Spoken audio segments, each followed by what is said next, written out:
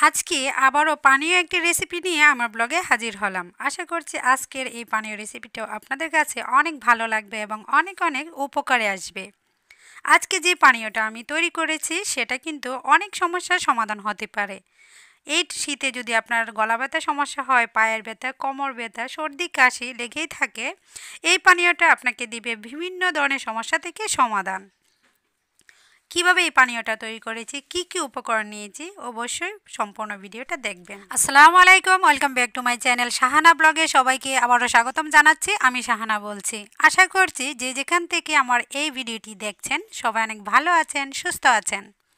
আমি আলহামদুলিল্লাহ আপনাদের দোয়ায় এবং আল্লাহর রহমতে অনেক ভালো আছি।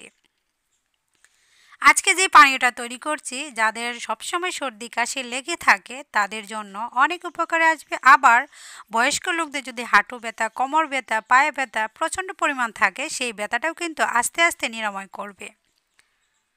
এই পানীয়টা কতটা যে উপকার আপনি ট্রাই না করলে কিন্তু বুঝতে পারবে না। যে উপকরণগুলি দিয়ে আমি তৈরি করছি, প্রত্যেকটা উপকরণই কিন্তু ব্যথার জন্য কার্যকরী। শুধু ব্যথা না, শরীরের জন্য কিন্তু অনেক অনেক কার্যকরী। এইখানে দেখুন আমি হচ্ছে ছয়টা মশলা আইটেম নিয়েছি। এই ছয়টা কিন্তু চোখের সামনে সবারই থাকে। যেমন রান্নাঘরে ব্যবহার করা হয় এই ছয়টা মশলাই। আমরা মাংসতে ব্যবহার করি প্রত্যেকটা মশলাই কিন্তু। এখানে যে উপকরণগুলি নিয়েছি, আমি আরও একটা পানি ভিডিও দেখিয়েছি। ওইখানে প্রত্যেকটা উপকরণ সম্পর্কে কিন্তু আমি আলোচনা করেছি। আজকে হচ্ছে উপকারিতা নিয়ে আমি আলোচনা করব না। এইখানে আমি দেখিয়ে দিচ্ছি কি কি আমি মশলা নিয়েছি। আপনার ক্যামেরাতে কিন্তু লক্ষ্য করলে বুঝতে পারবেন। প্রত্যেকটা মশলাই কিন্তু সবার বাসায় থাকে। আপনি চাইলেই কিন্তু এরকম পানীয় তৈরি করে পান করতে পারেন। এখানে আমি ছয়টি মশলা নিয়েছি। কি কি নিয়েছি সেটা বলে দিচ্ছি। এখানে হচ্ছে আমি আদা কুচি নিয়েছি, জিরা নিয়েছি, আস্ত জিরা, আর কালো জিরা নিয়েছি। কালো জিরার হচ্ছে গুঁড়াটা নিয়েছি, তেজপাতা নিয়েছি, আর হচ্ছে এখানে আমি গুলমরিচ নিয়েছি। গুলমরিচের মধ্যে দুটি কালার হয়ে থাকে, কালো হয় আর হচ্ছে সাদা। যে কোনো একটা নিলেই কিন্তু চলবে। আর হচ্ছে এখানে দারচিনি নিয়েছি। এই ছটি মশলা দিয়ে আমি একটি পানীয় তৈরি করব যে পানীয়টা অত্যন্ত কার্যকরী। সেজন্য আমি একটি পাতিল নিয়েছি, সেটার মধ্যে আমি দিয়ে দিব দুই কাপ মানে গ্লাস দিয়ে আমি হচ্ছে চার কাপ পরিমাণ পানীয় তৈরি করব, সেজন্য মশলাটা একটু বেশি পরিমাণ দিয়ে দিয়েছি। প্রথমে দিয়েছি গোলমরিচ। একে একে সবগুলি মশলা আমি হচ্ছে পাতিলে দিয়ে দিচ্ছি, তারপর এখানে দুই গ্লাস পানি দিব, চার কাপ মানে পানীয় তৈরি করার জন্য। আপনারা চাইলে কমও তৈরি করে নিতে পারেন। এখানে আদা কুচি, আমি হচ্ছে এখানে যে টুক নিয়েছিলাম, এক ইঞ্চি পরিমাণ আমি আদা কুচি করে নিয়েছি আর এটা রেখে দিয়েছি। এখানে কালো জিরাটা, আমি হচ্ছে গুঁড়াটা নিয়েছি। আপনারা চাইলে কিন্তু আস্তাটাও নিয়ে নিতে পারেন। তবে গুঁড়ার ফ্লেভার আর উপকারিতা মানে বেশি কার্যকারিতা পাওয়া যাবে। গুঁড়া দিলে সবচেয়ে ভালো হয়। জিরাটা আস্তা না দিয়ে যদি গুঁড়াটা আপনি জাল করেন, তাহলে বেশি ফ্লেভার আসবে বা কার্যকারিতাও বেশি হতে পারে। এখন এটার মধ্যে দিয়ে দিব পানি। আপনি হচ্ছে কম পরিমাণ করতে চাইলে কম মশলা দিবেন আর কম পানি দিবেন। এই পানীয়টা শুধু বড়রা না, ছোটরাও কিন্তু খেতে পারবেন। বাচ্চা থেকে বড় বৃদ্ধরাও খেতে পারবে। বাচ্চাদের তুলনায় যদি এখানে হচ্ছে গোলমরিচ যেহেতু জাল থাকে, আদাটাও জাল থাকে, পরিমাণে একটু কম দিয়ে তারপর হচ্ছে জাল করবেন, তাহলে কিন্তু তাদের জন্য পারফেক্টলি পানীয় তৈরি হয়ে যাবে। এই গ্লাসটা দিয়ে আমি হচ্ছে দুই গ্লাস পরিমাণ পানি দিয়ে দিব। আমি হচ্ছে চার কাপ পানীয় তৈরি করছি। আপনারা চাইলে এক কাপের জন্য সামান্য একটি গোলমরিচ, একটি দারচিনি তেজপাতার একটি অর্ধেকটা দিতে পারেন। আর হচ্ছে কালো জিরা সামান্য হাফ চামচ দিতে পারেন, জিরাও হাফ চামচ দিয়ে দিতে পারেন। তো এই গ্লাসটা দিয়ে যেটুক দিয়েছি মানে চার কাপ পরিমাণ পানীয় আমার তৈরি করা হয়ে যাবে। এখন চলে যাব হচ্ছে আমি চুলাতে। চুলায় আমি এটাকে আমরা চা যেভাবে রান্না করে থাকি সেভাবেই রান্না করব। আর তেজপাতার কালার, পানির কালারটা অন্যরকম যখন হয়ে যাবে তখনই এটাকে আমি নামিয়ে নেব। আর এই পানীয়টা চেষ্টা করবেন, বড় যারা আছেন তারা চা যেভাবে পান করে থাকেন সেভাবেই খেয়ে নেবেন, তাহলে অনেক উপকারে আসবে। আর ছোট যারা তারা কুসুম গরম করে নেবেন ঝাল করার পর। আর রান্না করার ক্ষেত্রে অবশ্যই ভালো করে এটাকে রান্না করে নিতে হবে যেন প্রত্যেকটা উপকরণে পানির মধ্যে তার গুণাগুণ উঠে আসে। এটার মধ্যে সামান্য পরিমাণে একটু লবণও দিয়ে দিচ্ছি। এই পানীয়টা চাইলে মধু দিয়ে খেতে পারেন, চিনি দিয়েও খেতে পারেন, অথবা এমনিও পানিটা পান করলে ভীষণ উপকারে আসবে। এই পর্যায়ে চুলার জালটা একেবারে হাই ফ্লেমে দিয়ে রেখেছি। দেখুন, যখন হচ্ছে চার থেকে পাঁচ মিনিট টাকা জাল করা হয়ে যাবে, তখন আমি ঢাকনা দিয়ে ডেকে দিব আরও পাঁচ মিনিটের জন্য।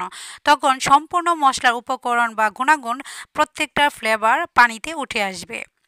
এবং পানির কালারটাও কিন্তু অন্যরকম হয়ে আসবে। তো একটু নেড়ে ছেড়ে দিচ্ছি যেন ভালোভাবে জাল হয়ে আসে প্রত্যেকটা মানে সাইডে দিয়েই। আমার আজকের এই ভিডিওটি যদি ভালো লেগে থাকে অবশ্যই লাইক, কমেন্ট করবেন। নতুন হয়ে থাকলে আমার চ্যানেলটিকে সাবস্ক্রাইব করে অল বাটনে ক্লিক করে রাখবেন। আর সবসময় যারা আমাকে সাপোর্ট করছেন, কমেন্ট করছেন, উৎসাহিত করছেন, তাদেরকে জানাই অসংখ্য অসংখ্য ধন্যবাদ।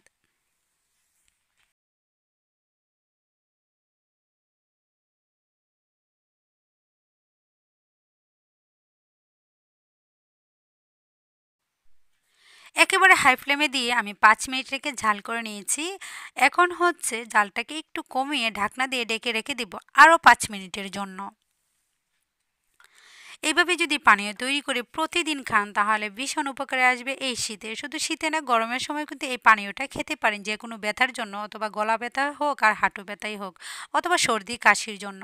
সব রোগের চিকিৎসা হতে পারে এই পানীয়টি। গরুয়া এরকম পানি যদি আপনি পান করেন, অবশ্যই আপনার শরীরে অনেক অনেক পরিবর্তন আসতে পারে। যাদের প্রচণ্ড ব্যথা থাকে তারা অবশ্যই বাসায় এই পানিটা তৈরি করবেন, খাবেন।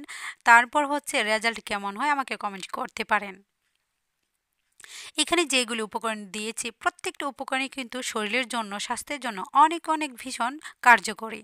এখন হচ্ছে আমি জালটাকে একেবারে স্লো করে দিয়ে ডাকনা দিয়ে ডেকে দিয়েছি। এটা পাঁচ মিনিট পর আমি আবারও ফিরে আসব। দেখুন, অল্প, অল্পভাবে জাল হচ্ছে আর কালারটা কতটা চেঞ্জ হয়ে এসেছে। প্রত্যেকটা মশলার ফ্লেভার এবং হচ্ছে উপকরণ, উপকারিতা প্রত্যেকটা কিন্তু পানির মধ্যে চলে এসেছে। পানির কালারটা যখন চেঞ্জ হয়ে এসেছে, এখন হচ্ছে আমি চোলা থেকে নামিয়ে চাটনির সাথে ছেঁকে আমি গ্লাসে পরিবেশন করে নিচ্ছি। এখন চোলা থেকে আমি নামিয়ে নিয়ে আসলাম। এটা হচ্ছে গরম গরম, যারা চা সবসময় পান করে থাকেন, তারা গরম গরম চায়ের মতো খেয়ে নেবেন। দেখবেন ভীষণ উপকারে আসবে। আর ছোট বাচ্চাদের ক্ষেত্রে অবশ্যই কুসুম গরম করে নেবেন। এটা আপনারা চাইলে মধু দিয়েও খেতে পারেন, চিনি দিয়েও খেতে পারেন। তবে যাদের ডায়াবেটিস আছে, তারা হচ্ছে এমনি খেয়ে নিলে সবচেয়ে ভালো উপকার পাবেন। চিনি বা মধু ছাড়াও কিন্তু এটা খেলে ভীষণ উপকারে আসবে। যদি টেস্টের জন্য খেতে চান, তাহলে একটু মধু দিয়ে দিতে পারেন। সেই সাথে তৈরি হয়ে গেল আমার সকল রোগের পানীয়। তো কেমন লাগল আজকের এই রেসিপিটা আপনাদের কাছে? অবশ্যই জানাবেন কমেন্ট করে। আজকের মতো এখানেই বিদায় নিয়ে নিচ্ছি। সবাই ভালো থাকবেন, সুস্থ থাকবেন, সবাই সবার জন্য দোয়া করবেন। আর আমার নতুন নতুন রেসিপি অথবা টিপস পেতে আমার চ্যানেলটিকে সাবস্ক্রাইব করে অল বাটনে ক্লিক করতে ভুলবেন না। অল বাটনে ক্লিক করলে কিন্তু আমার ভিডিওর নোটিফিকেশন সবার আগে আপনার কাছে চলে যাবে। চাইলেই দেখে নিতে পারবেন। সবাই ভালো থাকবেন সুস্থ থাকবেন। আল্লাহ হাফেজ।